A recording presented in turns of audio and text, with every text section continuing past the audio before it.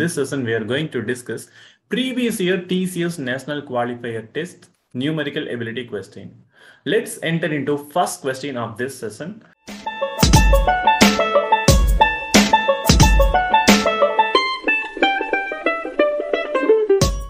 So here we have the first question. The difference between the simple interest accrued on a sum at P percentage per annum and P minus 5 percentage per annum after four years will be rupees 12,000. Find this sum.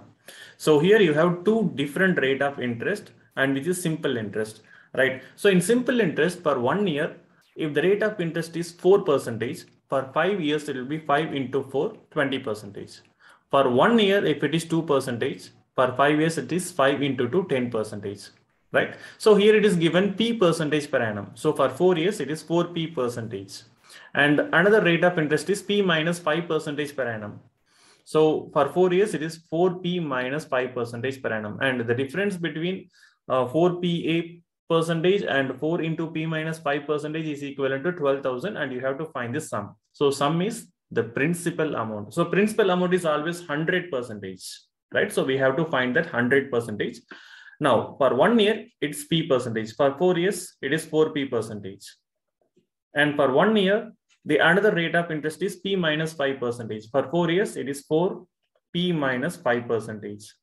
And the difference is given as 12,000 rupees. With this, you can find the P percentage, right? Now, 4P percentage minus 4 into P, 4P. And minus into minus, you get plus 4 into 5, it is 20 percentage, equivalent to 12,000. Now, we can cancel this plus 4p percentage and minus 4p percentage. Now, 20 percentage is equivalent to 12,000. Now, you found that 20 percentage uh, difference between the rate of interest is equivalent to 12,000. Now you have to find the sum. So sum is how many percentage always? So the principal amount is always 100 percentage. So we have to find the 100 percentage. So 100 percentage equivalent to X. Now just cross multiply X equal to 12,000 divided by 20 into 100.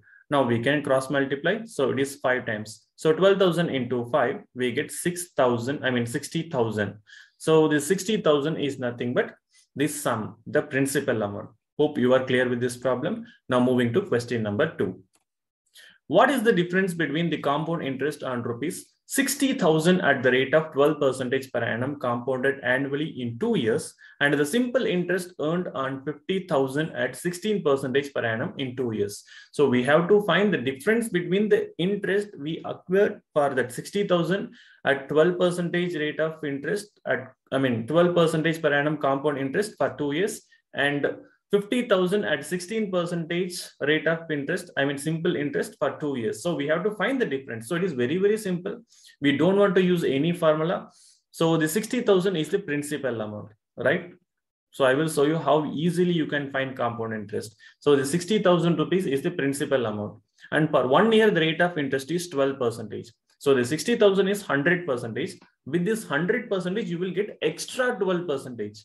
So next year you will be getting 112 percentage, right? So it is into 112 percentage. So 112 by 100. See, the 60,000 is 100 percentage. So this is your principal amount. So next year you will be getting a 12 percentage extra. So that is 112 divided by 100. So if you solve this, you will get a value, right? So that is 100 percentage for next year. From that, another 12 percentage will increase on the second year, the consecutive year. So you have to multiply this by another 112 by 100. So we have discussed this compound interest problem for sufficient number of times and I have included the link of simple and compound interest in description. If you haven't watched, please have a look at it. Now, if you cancel this, you get how much? So 0, 0 cancel and 0, 0 cancel. Now, what is 112 into 112? Again, we have a shortcut to multiply this 112, right? So 112 square. So it is uh, 112 into 112, you get. So it is 112 square, right? So the shortcut is. So comparing to 100, this 112 is how much higher? 12 higher, right? So add 12 with this 112. So you get 124. So what is 12 square? So 12 square is 144. Now in 100, you have how many zeros? Two zeros. So you have to put two dash. Now 12 square is 144. So we have to write 44 here and 1 is carry for 124. So it is 12544. So this is actually a shortcut to find 112 square. So if you feel it difficult, just multiply 112 into 112. Now you have one more six here. So multiply this with 12544. So if you multiply, you get 4 into 6, 24 to 4 into 6, 24 plus 2, 26. Uh, 5 into 6, 30, 30 plus 2, 32. And 6 into 2, 12 plus 3, 15. Again, carry over 1. 1 into 6, 6, 6 plus 1, 7. Now, what is this 75,264? The 75,264 is the total amount you will get after two years. But you have to find only compound interest. So how is it possible? So this is the amount you invested. And after two years, you will get 75,264. So what is the extra amount you got? 15,264. So this extra amount is nothing but your compound interest, right? So now you found compound interest easily without any formula. So this is the actual trick to find compound interest for any problem. Okay. And next, you have to find simple interest for 50,000 rupees at 16 percentage for two years. See, simple interest is quite easy. For one year, if it is 16 percentage, for two years, it is 32 percentage. So you have to find 32 percentage for 50,000 rupees. So what is 32,000, 32 percentage for 50,000? So it is 32 into 5, 160, and you have two more zeros.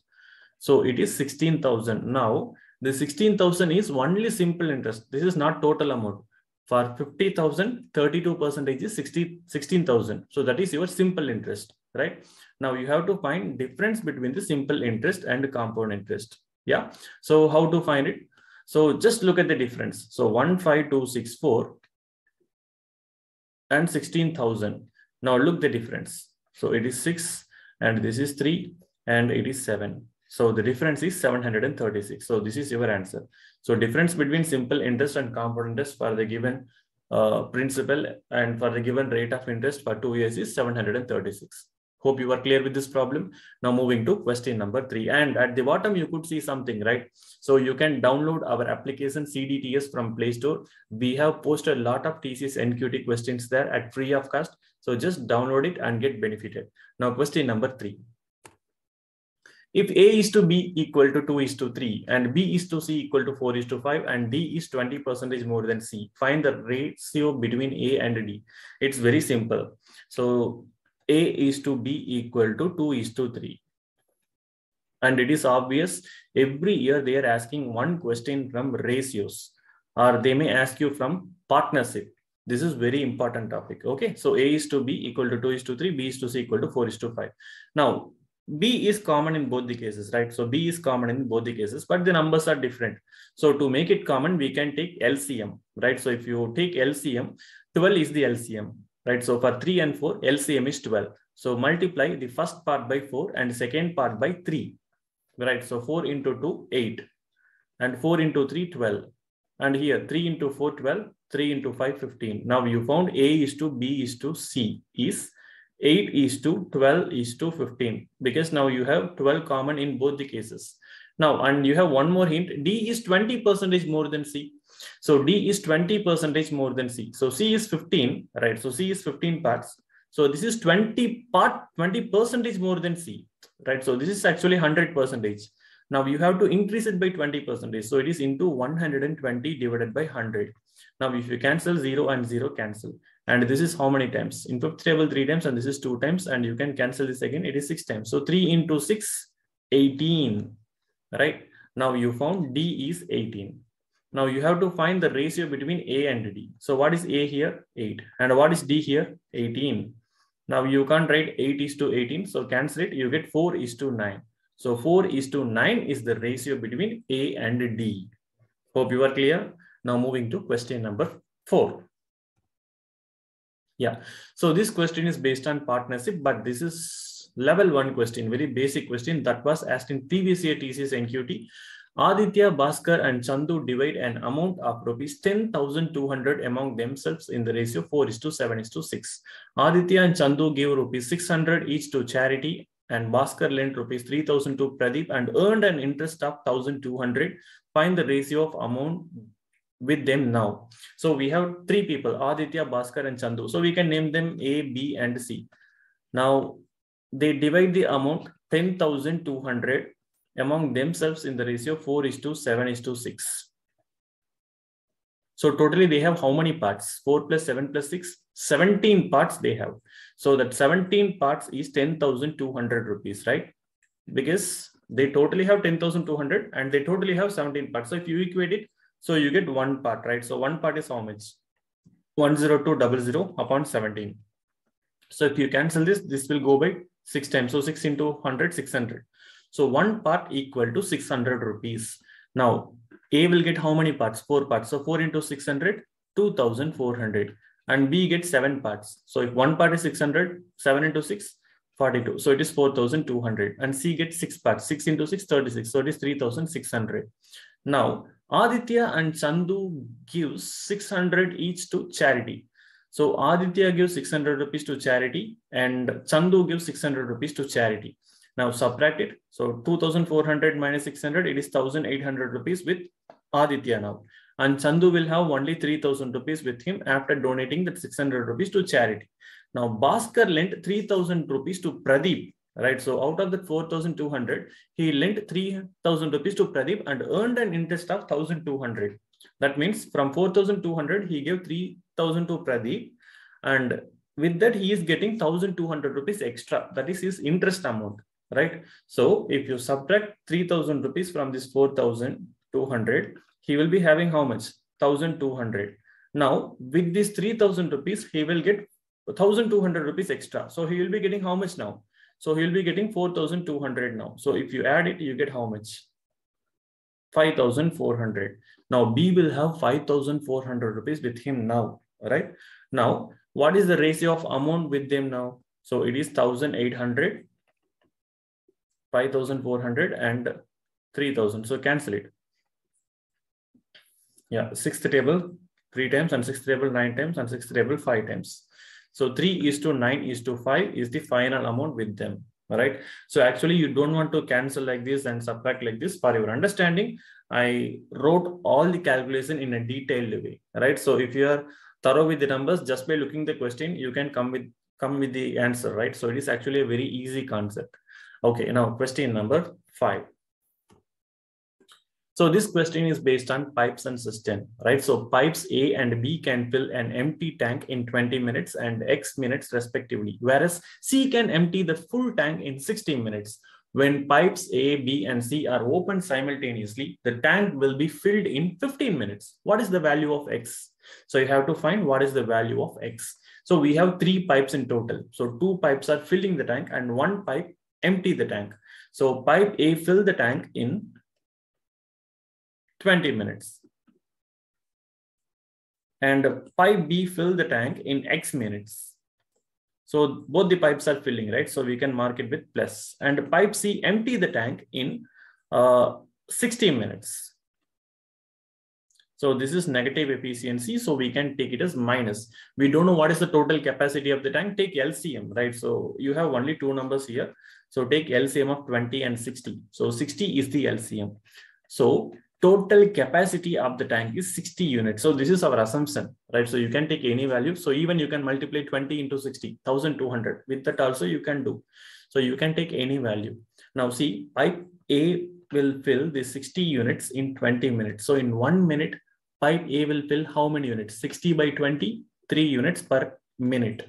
So three units per minute is efficiency of pipe A. And if you take pipe B, the 60 units will be filled by pipe B in X minutes. So in one minute, pipe B will fill how many units? 60 by X. 60 by X unit per minute. Now pipe C will empty that 60 units in 60 minutes. So in one minute, pipe C will empty how many units? 60 by 60? Only one unit. Yeah. This, this is empty. That is negative efficiency. Now, if you open pipe A, B, and C together, it will fill the tank in 15 minutes, right? So totally the 60 units will be filled in how many minutes? 15 minutes. So in one minute, it will fill how many units then? So cancel it four. So four unit per minute, right? So that is in one minute, pipe A, pipe B, and pipe C. Together, it will fill four units. Even though that pipe C is a negative efficiency, together it will fill four unit, right? Now we know pipe A will fill three unit, right? So what is efficiency of A, B, and C now? 4 units per minute. Now pipe A will fill 3 units. And pipe B will fill 60 by X unit per minute. And pipe C will empty, right? So we have to subtract.